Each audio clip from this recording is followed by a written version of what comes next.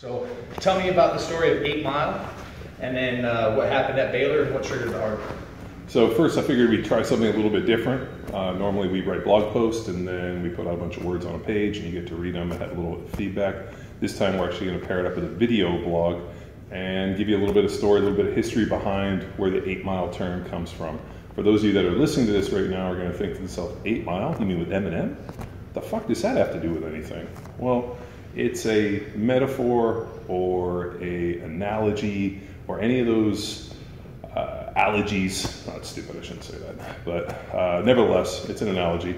And what it means is just a very simple kind of pop culture reference to refer to a very, very pivotal moment in a young man or young woman's life where they have the opportunity for greatness and either they succeed or they don't. So, where that whole thing came from uh, was years ago, uh, I had my eight mile moment as a second year NFL player. I had come in and started as a rookie, um, ended up getting hurt my first NFL season, spent the rest of the year on IR, and then the offseason they signed a pretty good offensive tackle in my position and paid him like 10 million bucks a year.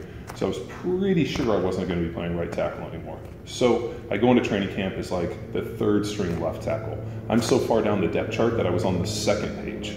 And lo and behold, first day of practice, that big high priced free agent right tackle ends up getting hurt.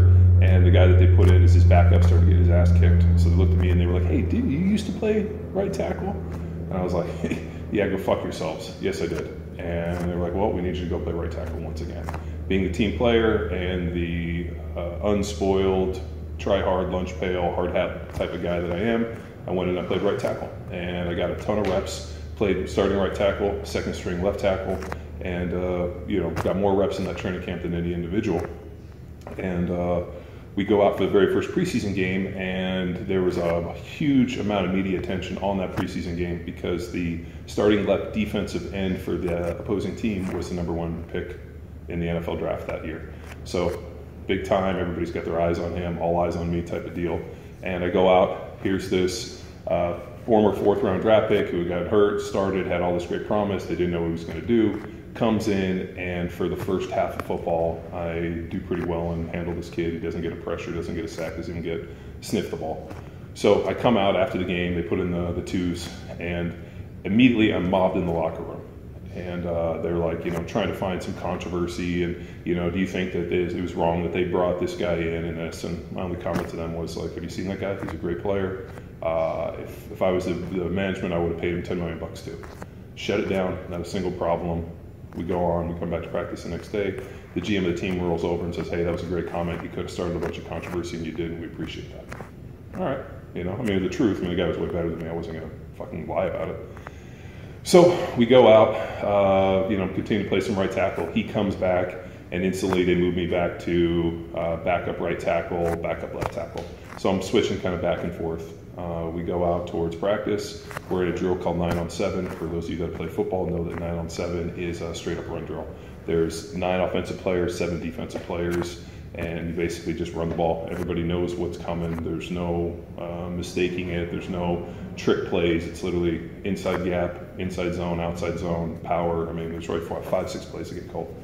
Um, starting left guard, uh, who's also a buddy of mine drafted the same year he ends up having a rough day. He had uh, been kind of having a rough training camp, and he goes in and he gets blown up on the very first play. And uh, you know, 917's got a lot of heat. You know, after the first precinct season game, everybody's pumped up, and what do they do? Same fucking play. So they call the seven play, and you know, defensive linemen usually aren't very smart, but you call the same play two plays in a row in a nine on seven, they know what's coming. And he gets blown up again in the backfield. The tackle gets hit. Everybody's celebrating, fucking dancing, doing all this crazy shit, and. Uh, Andy Reid explodes. And he um, yanks him out of the drill and is literally looking around for anybody to throw in. And as he looks to like left, right, left, right, all of a sudden puts his gaze on me and goes, You get in there. So I went in. And I knew walking over to the line, getting in, that that was my mom moment, that my opportunity to either be the hero or the coward or whatever you want to call it came down to that moment, and that was my one opportunity. And so running up to the line, and you guys are going to get this, they called the same play a third time. I knew I had one chance to try to knock this dude out. I got down in my stance. I got off on the ball. I actually got off a little before the ball, hit the defensive lineman, knocked him over, drove through, bam, we ran for a big run. Everybody cheered. It was great. Walked back to the huddle. They, uh, run the same play for a fourth time, hit the guy, we go for a big run, boom, whistle blows, drill over. We go to 11 on 11 drill, which uh, is just a basic straight up pass drill. Our 11 guys and your 11 guys, West Coast offense, let's chuck the ball. And uh, that, that, guy, that guy playing left guard goes out and he struggles on the very first play and gives up the sack. They blow him up, yank him out, put me in, and have been played tackle all those years. Playing guard was like candy shop. That was easy. Get a guy on your shade on the three technique, just you know, set him vertical and just set him back and big punch. I mean, that's what I made my money on. That's how I was. I mean, that's my wheelhouse. So I go out and do finding that drill. At which point they blow the drill up or walking away.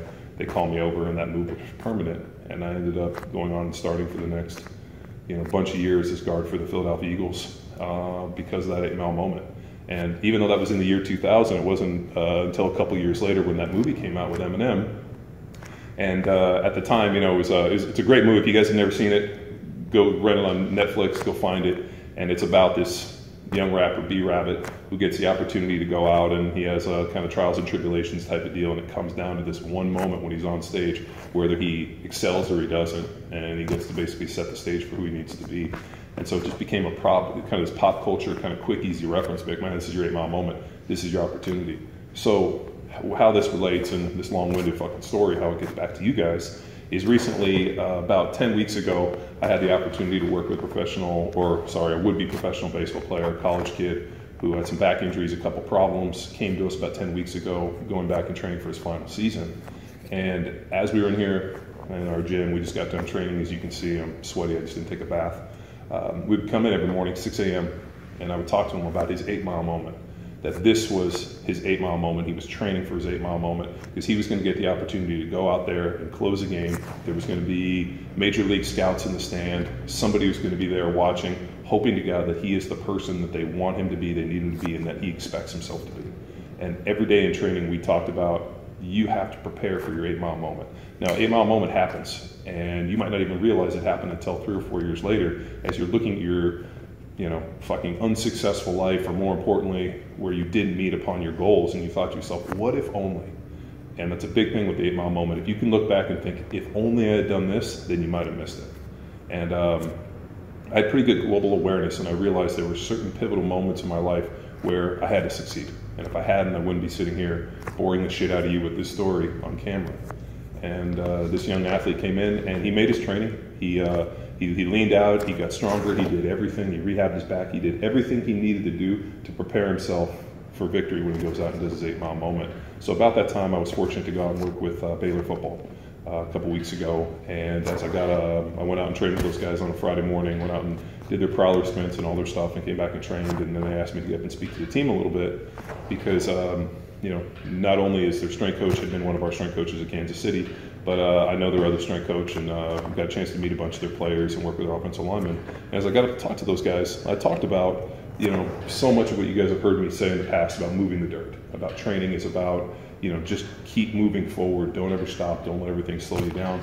But I also talked about putting in the volume of, of work, the body of work that you need to be successful in preparation for that eight mile moment. And when I said eight mile moment, all these guys kind of like looked around a little bit because I mean, probably most of them were born in the 90s.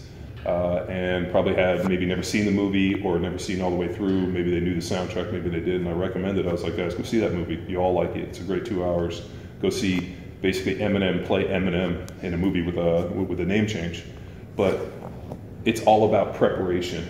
The hours that you put into the gym in a situation like this, when you get up when nobody else wants to do it, you know, uh, going and making sure you get your extra meal before you go to bed, running, getting up and fucking sprinting your ass off up a hill when it's still dark out, when you see people going to work, and uh, all of those little things are all in preparation for that eight mile moment. When you're on stage the whole world's against you and it's your opportunity to shine and then from that moment on you get to go and play in the NFL or go be a rap star or whatever the fuck you're looking to do. But uh, you know people don't really realize you know globally why they're doing this they just figure like oh I'm going to do it but I think when you work with young athletes especially going out and working with the guys from Baylor being able to talk to them about preparing themselves for greatness and more importantly putting yourself in a situation when that eight mile uh, opportunity presents itself that you do nothing but succeed. I mean, you have done all the training, you've won so many times that it doesn't matter that you have to do it. Eight mile.